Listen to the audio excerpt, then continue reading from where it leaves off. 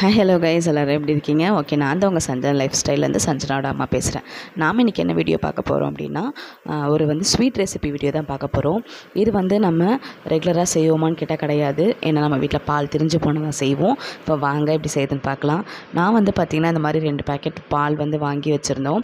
இந்த பால் எப்படி திரிஞ்சதுன்னு தானே கேட்குறீங்க ஆமாம் ஃப்ரெண்ட்ஸ் வாங்கி ரொம்ப நாள் ஆகிடுச்சு அதில் வந்து பார்த்தீங்கன்னா பால் வந்துட்டு எனக்கு பேக்கெட் உள்ள இருக்கும்போது தெரிஞ்சிருச்சு. இது வந்து கொஞ்சம் கெட்டு போன மாதிரி இருக்குன்னு சொல்லிட்டு.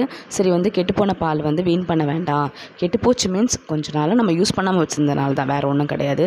இந்த மாதிரி வந்து பார்த்திங்கன்னா பால் வந்து திரிஞ்சு வரும். இந்த மாதிரி திரிஞ்சு வந்துருச்சு அப்படின்னாலே வந்து நம்ம அது வந்து ஒரு சிலர் எடுத்து கொட்டிடுவாங்க வீண் பண்ணிடுவாங்க வேறு எதுவுமே செய்ய மாட்டாங்க. இதில் வந்து ஸ்வீட் செஞ்சு சாப்பிட்டா உடம்புக்கு நல்லது தானே நல்லதான்னு தானே கேட்குறீங்க. அவ்வளோலாம் ஒன்றும் பெருசாலாம் வந்துடாது ஃப்ரெண்ட்ஸ் எங்கள் வீட்டில் எங்கள் சின்னதுலேருந்தே எங்கள் அம்மா இந்த மாதிரி பால் தெரிஞ்சு போயிட்டாங்க அப்படின்னா இந்த மாதிரி ஸ்வீட் செஞ்சு தர மாட்டாங்க. அதை வந்து பார்த்திங்கன்னா பன்னீராக செஞ்சுட்டு அதில் வந்து காரக்குழம்பு வச்சு கொடுப்பாங்க. அதை நான் வந்து நாங்கள் சாப்பிட்ருக்கோம். நாங்கள் பாருங்கள் இவ்வளோ நாள் ஆகிட்டு ஹெல்த்தியாக தான் இருக்கும். எங்களுக்கு பெருசாலாம் எந்த பிரச்சனையும் வந்தது கிடையாது. கண்டிப்பாக வந்து இதெல்லாம் நம்ம சாப்பிடலாம்.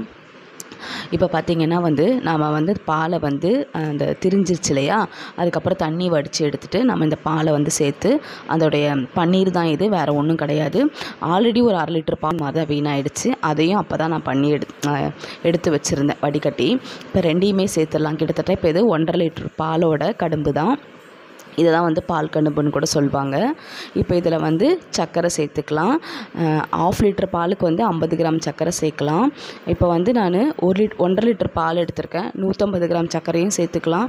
இல்லை உங்களுக்கு ரொம்ப கொஞ்சம் கம்மியாக தான் ஸ்வீட் சாப்பிடுவீங்கன்னா நூறு கிராம் கூட சேர்த்துக்கோங்க. சேர்த்துட்டு நல்லா வந்து இந்த மாதிரி மிக்ஸ் பண்ணி விடுங்க. சர்க்கரையும் நல்லா வந்து நமக்கு இலகுன ஒன்று இந்த பன்னீரோடு சேர்ந்து நல்லா மிக்ஸ் ஆகிடும் சாப்பிடவும் ரொம்ப டேஸ்ட்டாக தான் இருக்கும். கண்டிப்பாக எல்லார் வீட்லேயுமே வந்து ஒரு ஒரு லிட்டர் பால் அரை லிட்டர் பால் கண்டிப்பாக அப்படி வீணாகும். அந்த மாதிரி வீணாச்சுன்னா டக்குன்னு இந்த மாதிரி வந்து குழந்தைங்களுக்கு செஞ்சு கொடுத்துருங்க ரொம்ப நல்லா இருக்கும் சாப்பிட்றதுக்கு. இது ஒரு பால்கோவா சாப்பிட்ற ஃபீலில் தான் இருக்கும். கண்டிப்பாக ட்ரை பண்ணி பாருங்கள் அதே மாதிரி பால் வந்து இப்போது நமக்கு திரியுதுன்னா டக்குன்னு தெரிஞ்சிடும் இல்லையா? அதை ஒ- ரொம்ப நேரம் நம்ம கொதிக்க விட்டுறக்கூடாது.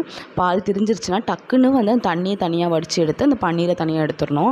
ரொம்ப நேரம் விட்டோம்னா இறுகிடும். ரொம்ப கல் மாதிரி ஆகிடும் அந்த பன்னீர். ரொம்ப வந்து நம்ம வந்து கொதிக்க விட்டோம் அப்படின்னா. இப்போ வந்து கொஞ்சமாக வந்து ஏலக்காய் எசன்ஸ் சேர்த்துக்கலாம் ஃப்ளேவருக்காக அடுத்து இது நம்ம குழந்தைங்களுக்கும் கொடுக்க போகிறோங்கிறதுக்காக ஒரு ரெண்டு ஸ்பூன் நெய் சேர்த்துருக்கேன். குழந்தைங்களுக்குலாம் கொடுக்கலாம் தாராளமாக ஒன்றுமே ஆகாது. நான் வந்து இதை செஞ்சுட்டு ரெண்டு மூணு நாள் கழித்து தான் இந்த வீடியோ நான் அப்லோட் பண்ணுறேன் குழந்தைங்க எல்லாருமே வீட்டில் நாங்கள் பெரியவங்க எல்லாருமே சாப்பிட்டோம். உடம்புக்குலாம் எந்த பிரச்சனையும் இல்லைங்கிறதையும் ஒரு வாட்டி கன்ஃபார்ம் பண்ணிக்கிட்டேன். அதுக்கப்புறம் தான் நான் வீடியோவே அப்லோட் பண்ணுறேன் அதால் நீங்களும் உங்களுக்கு வீட்டில் பால் தெரிஞ்சிருச்சு அப்படின்னா கவலைப்படாதீங்க. டக்குன்னு ஒரு ஸ்வீட் செஞ்சுருங்க. நம்மளுக்கு ஸ்வீட் செய்யறதுக்காக தான் பால் திரிஞ்சிருச்சுன்னு நினச்சிக்கோங்க. ஏன்னா ஒரு சிலர்லாம் பால் திரிஞ்சிருச்சுன்னா கண்டிப்பாக வந்து நெகட்டிவாக எடுத்துப்பாங்க. அந்த மாதிரி நெகட்டிவாகவே எடுத்துக்காதீங்க. எந்த ஒரு விஷயம் நடந்தாலும் பாசிட்டிவாக எடுத்துக்கோங்க. அது ரொம்ப நல்லதும் கூட நமக்கு.